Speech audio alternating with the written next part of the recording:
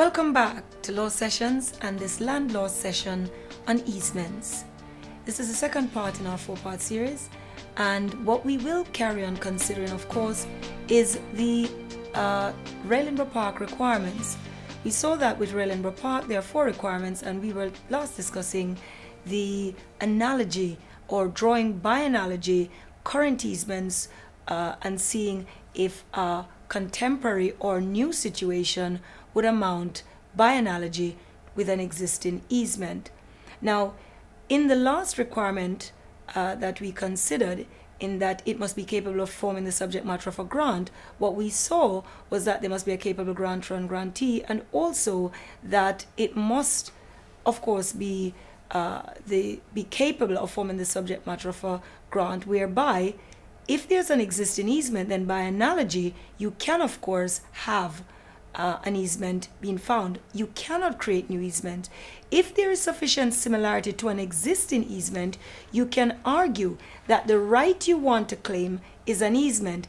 Example, if I want to claim an easement to park a bicycle, for example, in a hallway, then the right to store coal in a shed, which has already been accepted as, as an easement in Wright and Macadam, and to park a car, a right which is recognized as an easement in Blenheim Estate and Ladbroke Retail Park, you may be able to argue that the circumstances in both those cases warrant your wanting to park your bike in the hallway to be able to amount to an easement. The last requirement then under that fourth, fourth head is that the right must not totally exclude the servient owner so you must ensure that the right does not prevent the servient owner from using his land altogether. The point on that, of course, is that in an exam question, it generally manifests itself whereby somebody is asked, for example, where a person is parking a vehicle in a particular spot. The problem with that, of course, is if you're parking a vehicle in a particular spot, Although parking may amount to an easement, parking in a particular spot may not. And that, of course, is so because you would arguably be preventing the servient owner from using that particular piece of land altogether. Now, if you do not meet the conditions laid down in Re Ellenborough Park, it simply means that you do not have a right that is capable of being an easement. Now, the significance of that, of course, is that an easement is a property right. It gives you a proprietary right, which, of course, you can transfer or use or you can enforce against someone else. If you cannot meet Re Ellenborough Park, then all you have is a license. Simply, a license is permission to be on someone else's land. So, if for whatever reason the requirements, even one of them in Re Ellenborough Park, is not met, then you simply have a license and the discussions will take place on that basis. So, as I said, the first thing you have to consider is whether or not you meet the essentials of Re Ellenborough Park. The second requirement, of course, is to consider even if the right that you're seeking to claim amounts to the essentials of Re Ellenborough Park, has a right been acquired or created in your favor. So, has an easement been acquired? Has an easement been created in your favor? And as you look at the creation of the easement, you must consider if the easement which is created is a legal easement or an equitable easement. So, what is important here is the application of Section 1 of the Law of Property Act 1925. And when you consider if an easement has been created, easements are created either by grant or by reservation. The grant of an easement simply means that the dominant tenement is sold off.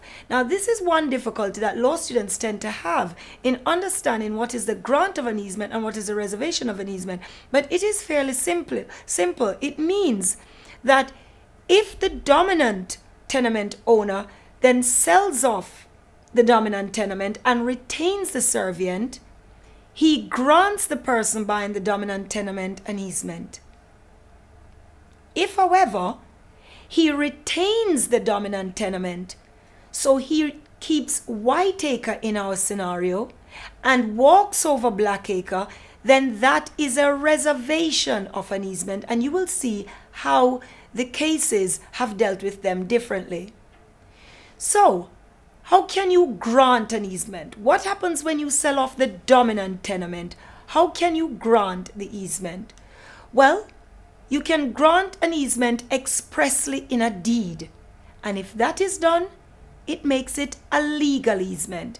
Now, as I go through these, I will let you know if it's a legal or an equitable easement because these will become important when we look under the third head of protection.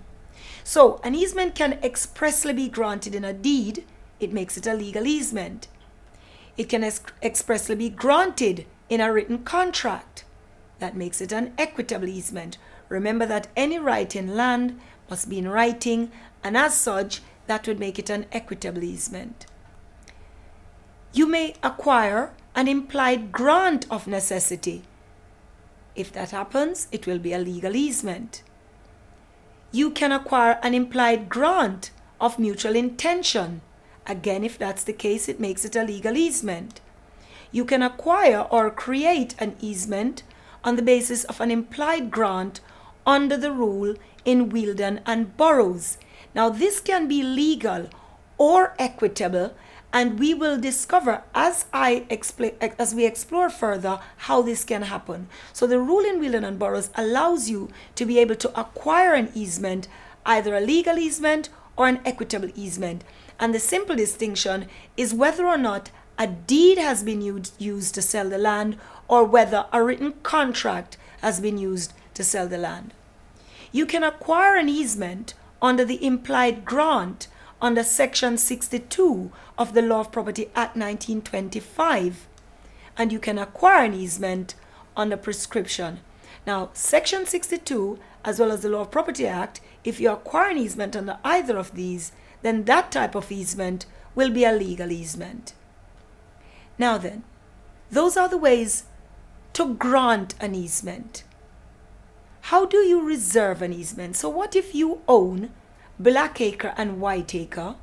You sell off Blackacre and you retain Whiteacre, but you still want to be able to walk across Blackacre in order to get to the main road. Well, you can reserve an easement to yourself by an express reservation by deed. This, of course, makes it a legal easement. You can have an implied reservation through necessity. That will also make it a legal easement. And you can have an implied reservation through mutual intention. Again, a legal easement would be found in that basis. If you notice, these are the only three ways that you can acquire a reservation of an easement. And this is important to understand that equity will not assist you in the context of a reservation because frankly the law considers that you were best placed when you were selling off Blackacre, which is the servient land, to have thought about retaining an easement to yourself.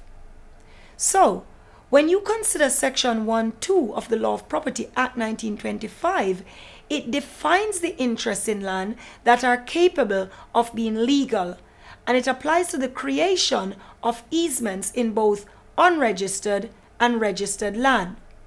Now, if we were to go through each of these then and consider the ways that I've mentioned as it relates to uh, grant and reservation, let's look at each of these in turn. Let's start with the express grant in a deed. An express grant in a deed is a legal easement. And of course, that makes sense because you're using a deed in order to be able to grant this easement. Now, this is an agreement. A deed is an agreement made knowingly and deliberately between two people. It is done in the form of a deed and it meets the requirements found in the Law of Property Miscellaneous Provisions Act of 1989. Now, deeds are not as formal as they once used to be, but it still does require that it be in writing and that it is clear on its face that it is intended to be a deed. It must be signed by the person making the deed in the presence of a witness who attests his signature, and it must be then what is called delivered as a deed. So in that case, you have an express deed uh, granting uh, uh, uh, an easement, and that will make it a legal easement. What about an express grant in a written contract? Well, this will amount to an equitable easement.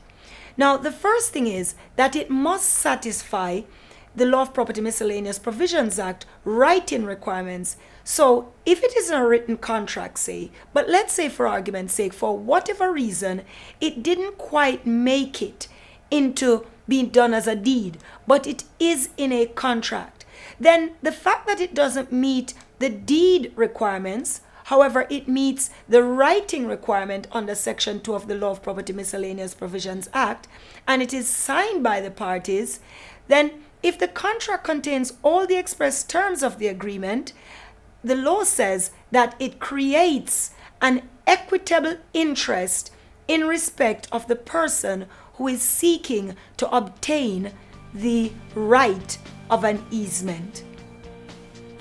When we come back, we will look at how one can obtain a grant of an easement by implication. So, the circumstances in which the law will imply an easement in circumstances where the parties have made no express provisions. After the break, we will continue.